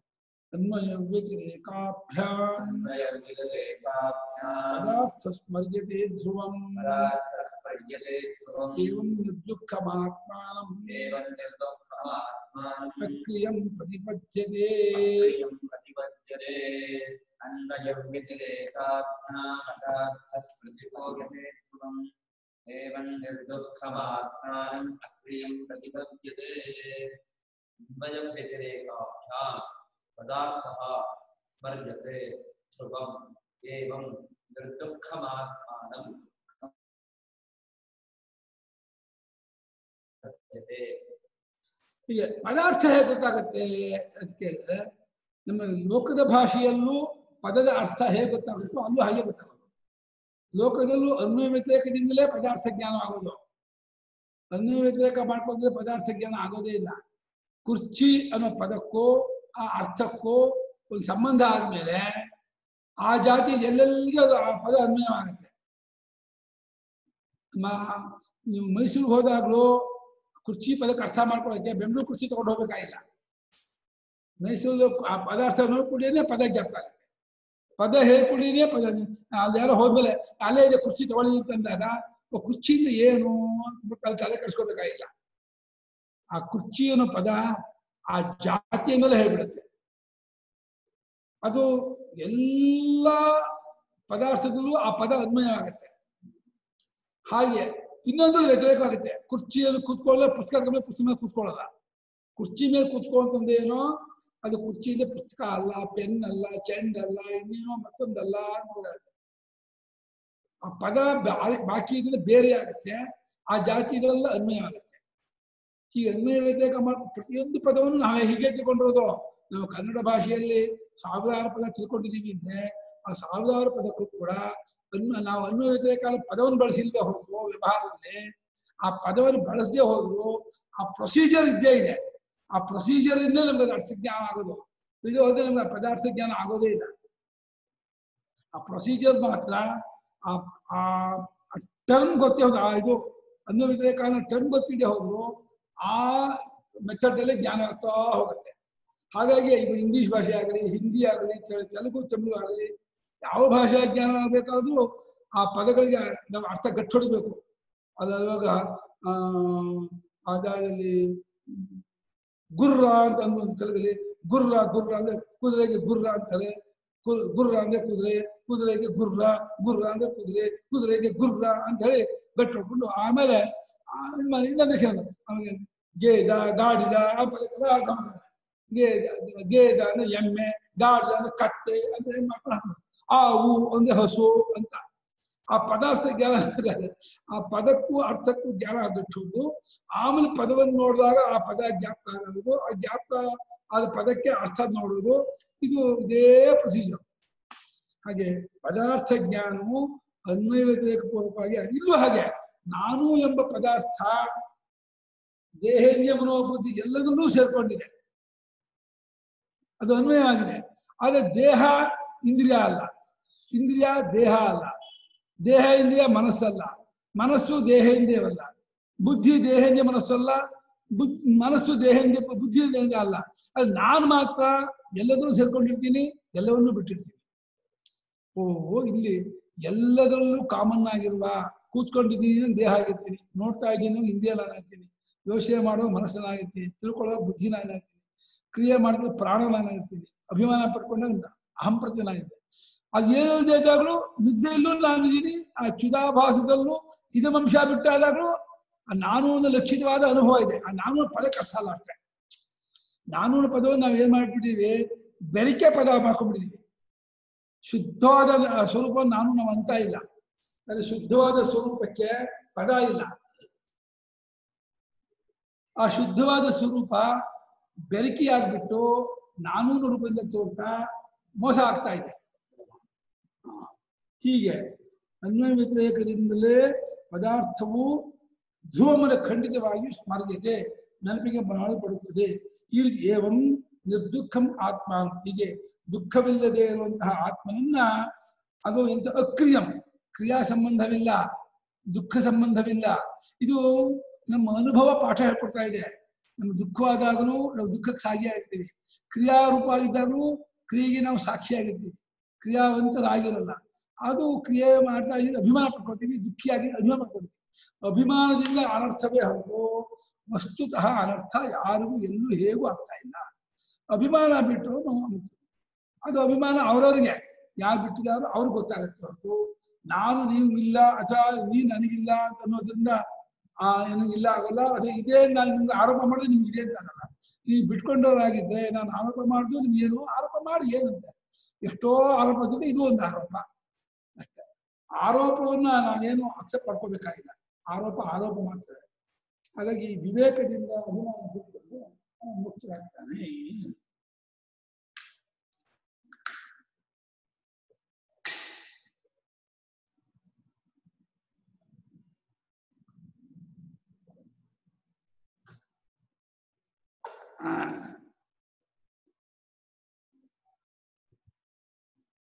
ಇಷ್ಟೇ ಈವರೆಗೆ ಹೇಳಿದ್ದರ ಸಾರವು. ವಾಕ್ಯದಿಂದ ಹೀಗೆ ಆತ್ಮನನ್ನು ಅರಿತುಕೊಂಡರೆ ಪ್ರಸಂಖ್ಯಾನಾದಿಗಳನ್ನು ಮಾಡಬೇಕಾದದ್ದೇನೂ ಉಳಿದಿರುವುದಿಲ್ಲ. ಆ ತತ್ವಮಸಿ ಪ್ರೊಸೀಜರ್ ಹೇಳಲೇ ಇಲ್ಲ. ಅದನ್ನ ಬಿಟ್ಬಿಟ್ರು. ಅಷ್ಟೇ, ಇಷ್ಟ. ಇಲ್ಲಿ ವಾಕ್ಯದಿಂದ ಆತ್ಮನ ತಿಳ್ಕೊಂಡ್ಬಿಟ್ರೆ ಪ್ರಸಂಖ್ಯಾನ ಬೇಕಾಗಲ್ಲ. ಜ್ಞಾನ ಆಗ್ಬಿಟ್ರೆ ಪ್ರಸಂಖ್ಯಾನ ಬೇಕಿಲ್ಲ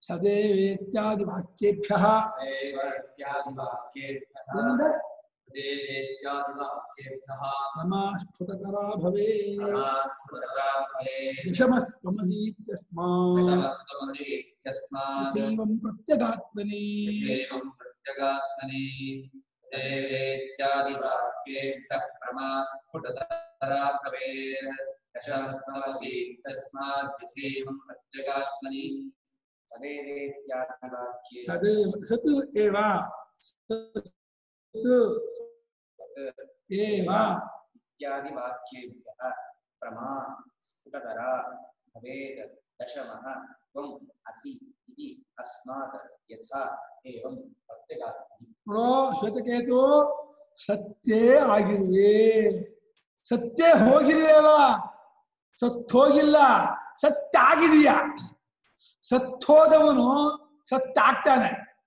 ಸತ್ತಿಗೆ ಹೋಗ್ತಾನೆ ಹೊರತು ಸತ್ತೋದ ಅಂದ್ರೆ ಇಲ್ಲ ಆಗ. ಸತ್ತಿ ಸತ್ ಈಗ ಮನೆಗೆ ಹೋದ ಅಂದ್ರೆ ಏನರ್ಥ ಮನೆಯೊಳಗೆ ಸೇರ್ಕೊಂಡ ಅಂತ. ಸತ್ತಿಗೆ ಹೋದ ಅವನು. ಅದೇ ಸತ್ತೋದ. ಸತ್ತೋದ ಅಂದ್ರೆ ಡೆತ್ ಅಂತ ಅಂತಾರಲ್ಲ ಇಂಗ್ಲಿಷಲ್ಲಿ ಡೆತ್ ಅಲ್ಲ ಅದು. ಡೆತ್ ಬೇರೆ, ಸತ್ತೋದ ಬೇರೆ. ಸತ್ತಿಗೆ ಹೋದ, ಸತ್ತೋದ. ಮಧ್ಯಮ ಲೋಪಿ ಸಮಾಸ ಅದು. ಹಾಗೆ. ಸತ್ತೋದ. ಸತ್ತೇ ಸತ್ಯ ಈ ಸದೇವ ತಮಸಿ ಸತ್ತೇ ನೀನಾಗಿರುವೆ ಎಂಬ ಇದೇ ಮೊದಲಾದ ವಾಕ್ಯಗಳಿಂದ ಹೇಗೆ? ನೀನೇ ನೀನೇ ಹತ್ತನೇವನು ನೀನೇ ಹತ್ತನೇವನ ಹತ್ತನೇವನು ನೀನೇ ನೋಡುವ. ಯಾವುದು ಆಸೆ? ಹತ್ತನೇವನು ನೀನೇ ನೋಡುವ. ನೀನೇ ಹತ್ತನೇ ನೋಡುವ. ನಿಮಗೆ ಸಂಶಯ ಇರೋದು? ಹತ್ತನೇವನು ಯಾವುದೊಂದು ಸಂಶಯವೋ? ನಾನು ಎಷ್ಟೇವನು ಸಂಶಯವೋ? ನಾನು ಎಷ್ಟೇವನು ಸಂಶಯ ಇಲ್ಲ. ಸಂಶಯ ಇರೋದು ಹತ್ತನೇವನು ಯಾರು ಗೊತ್ತಿಲ್ಲ ಅದ ನೀನೇ ಹತ್ತನೇವನು ತಿಳ್ಬೇಕು. ಹತ್ತನೇವನು ನೀನೇ. ಹತ್ತನೇವನು ಎಲ್ಲಪ್ಪ? ಎಲ್ಲ ಹೋದ? ಒಂಬ ಹತ್ತನೇವನು ತಲೆ ಕೆರ್ಕೊಳ್ತಾ ಇದೆಯಲ್ಲ?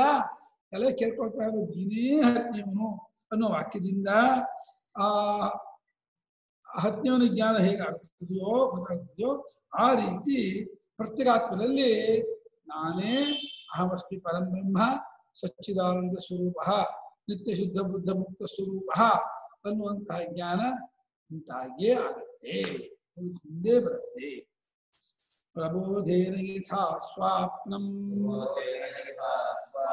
सर्वं दुःखं निवर्तते।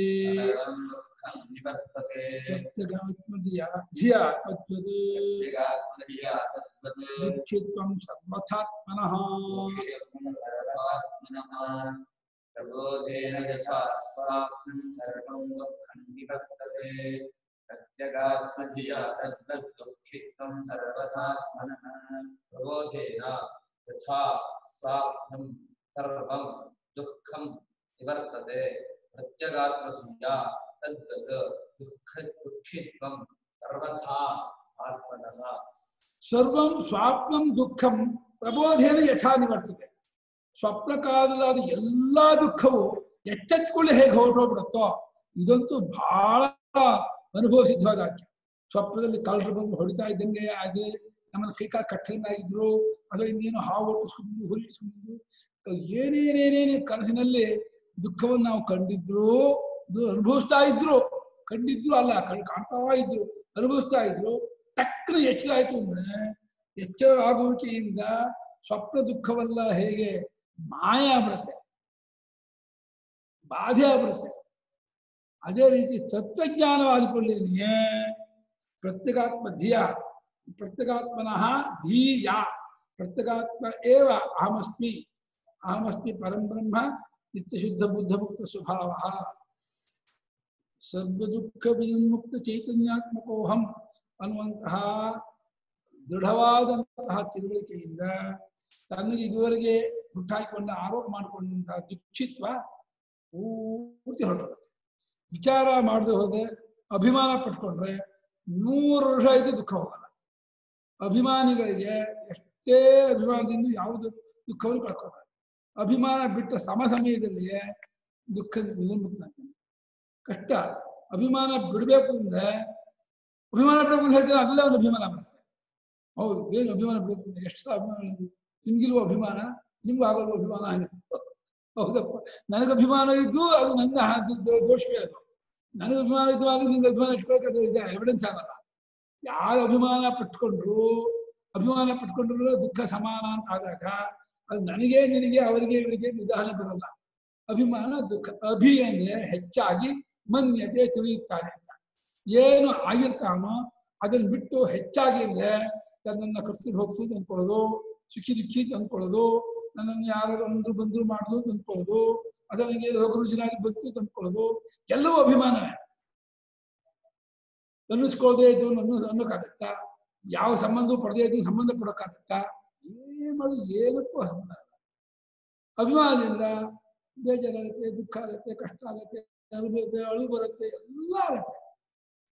ಇದು ಯೂನಿವರ್ಸಲ್ ಆಗಿರ್ತಕ್ಕಂಥ ಕಾರಣ, ಏನ್ ಮಾಡಲು ಹೋಗಲ್ಲ ತತ್ತಮಸಿ ಮುಂತಾದ ವಾಕ್ಯಗಳು ಪ್ರಮಾಣವಲ್ಲ ಎನ್ನುವುದಕ್ಕೆ ತತ್ವಮಸಿ ಮುಂತಾದ ವಾಕ್ಯಗಳು ಪ್ರಮಾಣವಲ್ಲ ಎನ್ನುವುದಕ್ಕೆ ಕಾರಣವೇನೂ ಇಲ್ಲ.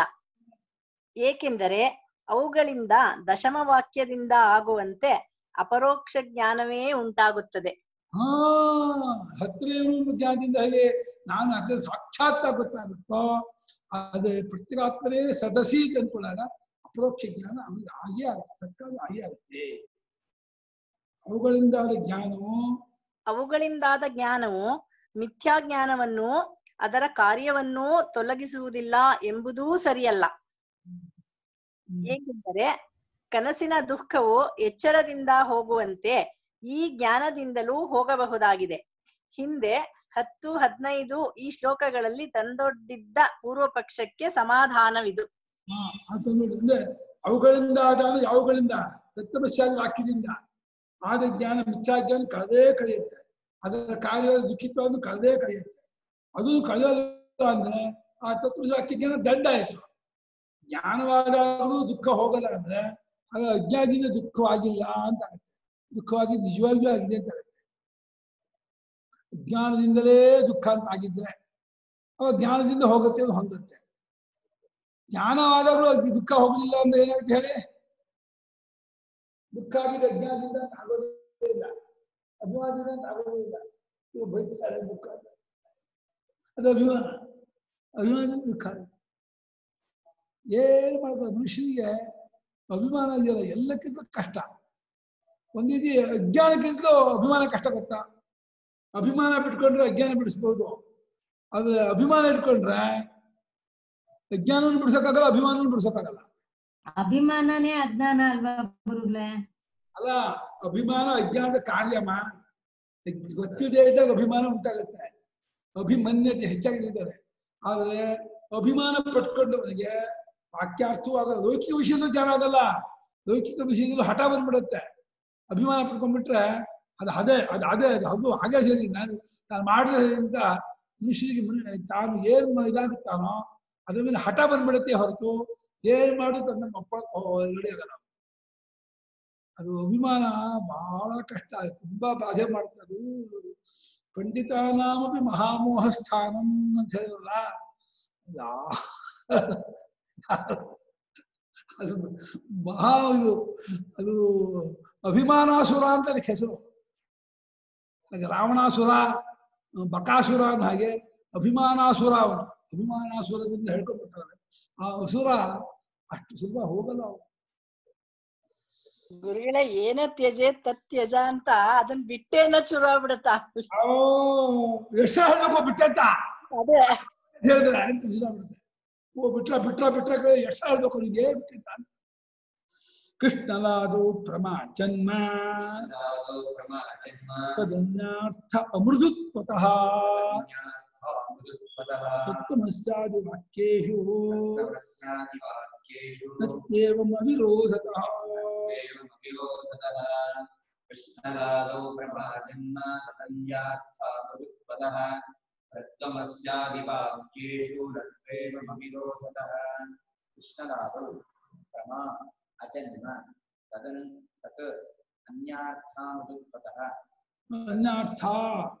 ಸತ್ತು ಅನ್ಯಾರ್ಥ ಅನ್ಯಾರ್ಥ ಅಮೃದುತ್ಪತಃ ಪದ ಹೌದು.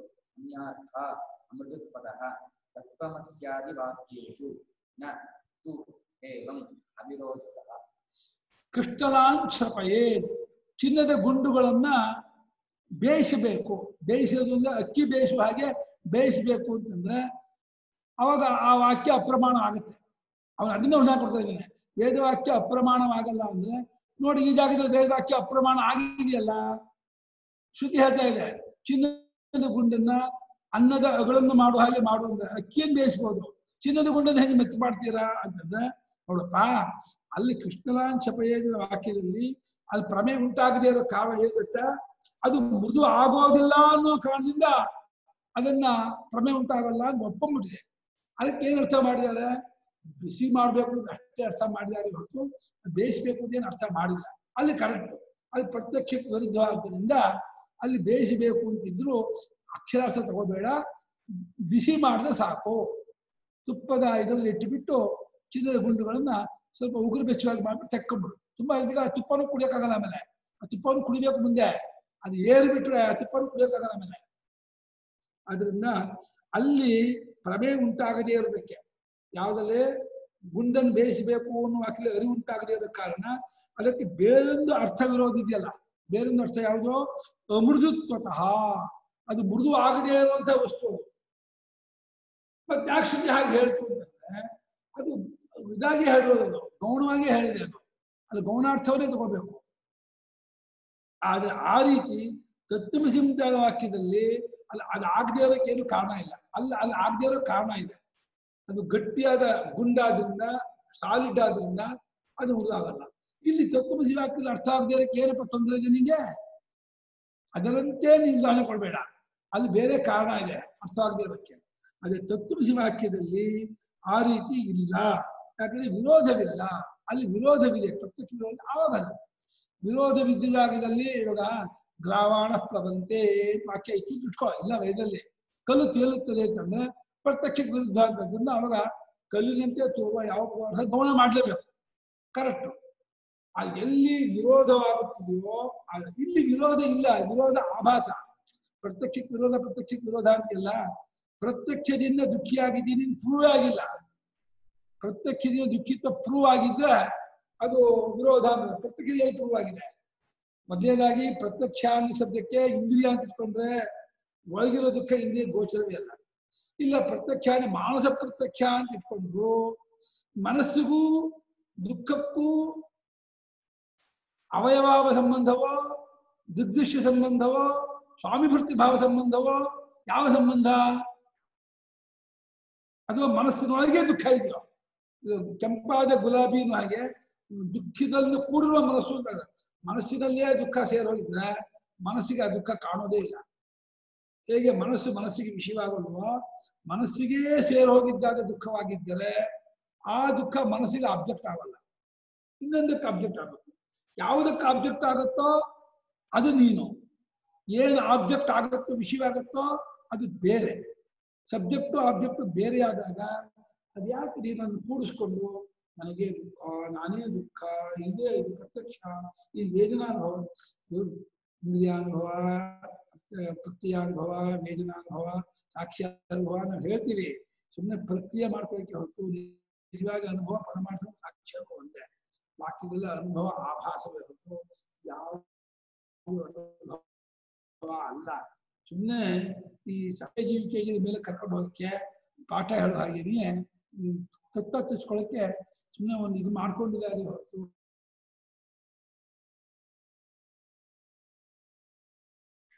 ಇಂದ್ರಿಯಾನುಭವ ವೇದನಾನುಭವ ಅಲ್ಲ ಸಾಕ್ಷಿ ಅನುಭವ ಒಂದೇ ಅನುಭವ ಬಾಕಿ ಎಲ್ಲ ಅನುಭವ ಆಭಾಸ ಆಯಾ ಹಂತಕ್ಕೆ ಬೇಕಾಗಿ ವ್ಯವಹಾರ ಇಟ್ಕೋಬಹುದು ಅಷ್ಟೇ. ವ್ಯವಹಾರ ಬೇರೆ, ಪರಮಾರ್ಥ ಬೇರೆ. ಪರಮಾರ್ಥದಲ್ಲಿ ಹೊಂದೋದಿಲ್ಲ. ಹಿಂದೆ ನೂರ ಎಪ್ಪತ್ತೊಂದನೇ ಶ್ಲೋಕದಲ್ಲಿ ಹೇಳಿದ. ಹಿಂದೆ ನೂರ ಎಪ್ಪತ್ತೇಳು ಶ್ಲೋಕದಲ್ಲಿ ಹೇಳಿದ, ಕೃಷ್ಣನ ವಾಕ್ಯದಲ್ಲಿ ವಾಕ್ಯದಿಂದ ಪ್ರಮೆಯುಂಟಾಗದಿರಲು ಕಾರಣವೇನೆಂದರೆ ಪೂರ್ವ ಪಕ್ಷಿಯು ಭಾವಿಸಿರುವಂತೆ ಕೃಷ್ಣಲವನ್ನು ಬೇಯಿಸಿ ಮೆತ್ತಗೆ ಮಾಡಬೇಕು ಎಂಬ ಅರ್ಥವು ವೇದವಾಕ್ಯಕ್ಕಿಲ್ಲವೇ ಇಲ್ಲ. ಹಾಗೆ ಬೇಯಿ ಹಾಗೆ ಬೇಯಿಸುವುದರಿಂದ ಒಂದಾನೊಂದು ಸಂಸ್ಕಾರವಾಗಿ ಅದೃಷ್ಟ ಉಂಟಾಗುತ್ತದೆ ಎಂಬುದರಲ್ಲಿ ಶ್ರುತಿಯ ತಾತ್ಪರ್ಯವಿದೆ. ಏನೈತಿ ಹೀಗಂದ್ರೆ ಗುರುಗಳೇ? ಅಲ್ಲ ಮೆತ್ತಿಗೆ ಮಾಡಬೇಕು ಅಂತ ಅಲ್ಲಿಲ್ಲ. ಅದನ್ನು ಕಾಯಿಸಿದರೆ ಮುಂದೆ ಅದನ್ನ ಹೋಮ ಮಾಡೋಕೆ ಉಪಯೋಗಿಸಕ್ಕೆ ಅದು ಇದಾಗುತ್ತೆ. ಎಂಟನ್ನ ಪ್ರಧಾನ ಹೋಮ ಕಟ್ಕೋಬೇಕು ಎಂಟನ್ನ ಎಡಭಕ್ಷದಾಗ ಇಟ್ಕೊಂಡು ಹಂಚ್ಕೋತಾರೆ ನಾಲ್ಕನ್ನ ಶಿಷ್ಟಕತೆ ಇಟ್ಕೋತಾರೆ ನಾಲ್ಕನ್ನ ಆ, ಅವಾಂತರಗಳಿಗೆ ಇಟ್ಕೊಳ್ತಾರೆ. ಒಂದನ್ನ ಯಜಮಾನಿಗೆ ಒಂದನ್ನ ಅನುಯಾಜಿಗೆ ಹೀಗೆ ಇಪ್ಪತ್ತಾರನ್ನು ಮಾಡಿಕೊಂಡು ಇದು ಎಪ್ಪತ್ತ ನಾಲ್ಕನ್ನ ಏಕದಾ ಬ್ರಹ್ಮಣ ಉಪಹಾರಕ್ಕೆ ಬ್ರಹ್ಮನಿಗೆ ಇಡ್ತಾರೆ. ಆಮೇಲೆ ಅದನ್ನು ಹಂಚ್ಕೋತಾರೆ ಅಂತ ನಮ್ಮ ಕೇಶವ ನನ್ನ ಕೇಳಿದೆ. ಇವಾಗ ಎಪ್ಪತ್ತಾರನ್ನು ಬ್ರಹ್ಮನ್ ಕೊಡಲ್ಲ.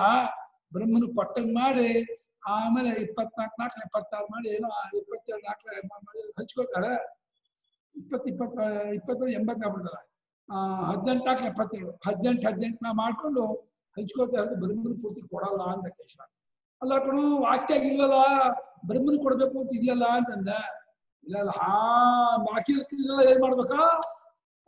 ಅಷ್ಟು ಬ್ರಹ್ಮನ ಕೊಡಕ್ಕೆ ಕೊಡಕ್ಕೆ ನಾವೆಲ್ಲ ಗ್ರಾಚಾರವಾ? ಹಂಗಲ್ಲ ಇಲ್ಲಪ್ಪ ಅಂತ ಓ ವಾಕ್ಯ ವಿರುದ್ಧ ಆಗುತ್ತಲ್ಲ ನಿಮ್ದು ಅಂದ್ರೆ ಅವನು ವಾಕ್ಯ ವಿರುದ್ಧ ಅಂತಲ್ಲಪ್ಪ ಅದಕ್ಕೂ ಇದೇ ವಾಕ್ಯ ಎಲ್ಲ ಹುಡುಕ್ ನೋಡಿ ತೋರಿಸ್ತೀನಿ ಅಂತ ತೋರಿಸು ನೋಡೋಣ ಅಂತಂದೆ. ಗೌಣಾರ್ಥ ತಗೋತಾರೆ. ಅಷ್ಟ. ಏನ್ ಮಾಡ್ಬಿಡ್ತಾರೆ ಅಂದ್ರೆ ಅರ್ಥ ಮಾಡೋದು ಇವ್ರ ಅದರಿಂದ ವಾಕ್ಯ ಏನೋ ಹೇಳಿ ಅದು ನಾನು ಅರ್ಥ ಮಾಡ್ತೀನಿ ಅರ್ಥ ಮಾಡೋದ್ರಿಂದ ಅವ್ರಿಗೆ ಭಯ ಇಲ್ಲ. ಎಲ್ಲ ಬ್ರಹ್ಮನು ತಂದು ಬ್ರಹ್ಮನ್ ಕೊಟ್ಟನ್ ಮಾಡು ಕೆಲಸ ಅದೇ ಸೋಮವನ್ನು ಕೊಟ್ಕೋಬೇಕಾದ್ರೆ ಹಿರಣ್ಯೇನ ಕ್ರೀಣಾತಿ. ಅಲ್ಲ, ಸುಷುಪ್ತ, ಹಿರಣ್ಯನ ಕ್ರೀಣಾತಿ. ಸುಷುಪ್ತ ಹಾ ಒಳ್ಳೆ ತೇಜಸ್ವಿನ ಕೊಟ್ಕೊಂಡಂಗೆ ಆಗುತ್ತೆ ಏನೋ ಒಂದು ಹೊಗಳಿದೆ. ಆದ್ರೆ ಹಿರಣ್ಯನ ಕೊಂಡ್ಕೊಂಡ್ಮೇಲೆ ಮತ್ತೆ ಆ ಹಿರಣ್ಯ ಕಸ್ಕೋಬೇಕು. ಏ ಚಿನ್ನ ನೀನ್ ಕೊಟ್ಟಿಲ್ಲ ಕೊಡ್ಕೊಂಡು ಅಂತ ಚಿನ್ನ ಕೊಟ್ಟು ತಗೊಂಡಿದ್ದೀರಲ್ಲ ಅಂತ. ಪುನರಾದ ಗೀತ. ಬಲಾತ್ಕರೆ ಕೊಡೆಯ ಹೊಡೋದು ಕಸ್ಕೋಬೇಕಂತೆ. ಮತ್ತೆ ಹಿರಣ್ಯ ಅದ್ ಮರ್ಯಾದೆ ಸೋಮಕ್ಕೆ ಒಂದು ಮರ್ಯಾದೆ ಕೊಡ್ಕೊಂಡು ಬಂದ ಕೊಂಡ್ಕೊಂಡು ಮಹಾರಾಜ ನಿನ್ನ ಅಂತ ಹೇಳೋಕೆ ಹೋಗಿ ಕೊಟ್ಟಂಗ್ ಮಾಡಿ ತಗೊಂಡ್ಬಿಡ್ತಾರೆ ಸೋಮಕ್ಕೆ ಮರ್ಯಾದೆ ಕೊಡ್ಬೇಕಲ್ಲ ಯಜ್ಞದಲ್ಲೇ? ಏನು ಸಾಮಾನ್ಯ ಕೊಂಡ್ಕೊಂಡಿಲ್ಲ ನಿನ್ನ ಸೋಮರಾಜ? ಬಂಗಾರ ಬಂಗಾರ ಕೊಟ್ಟು ಕೊಂಡ್ಕೊಂಡಿದ್ದೀನು ಅಂತ.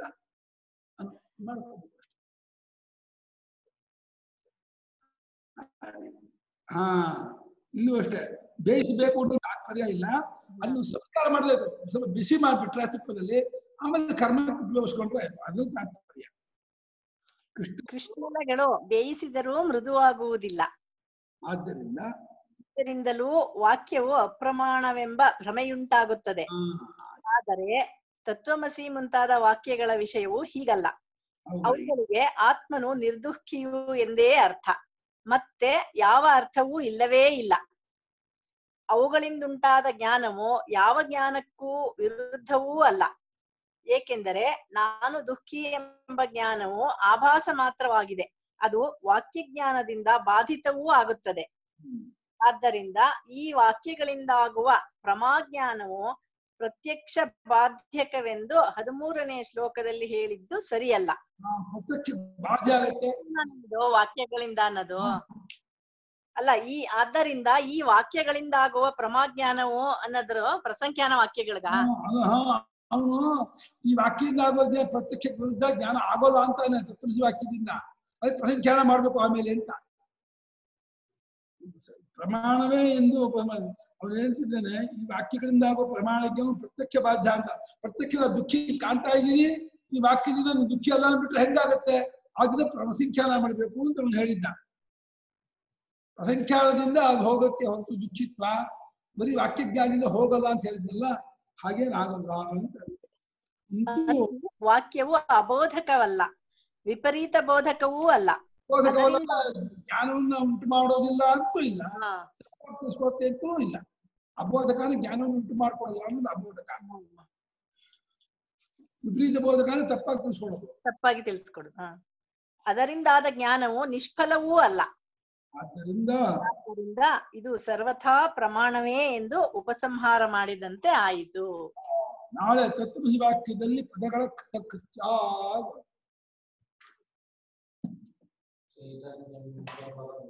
सर्वभूतभाषयम्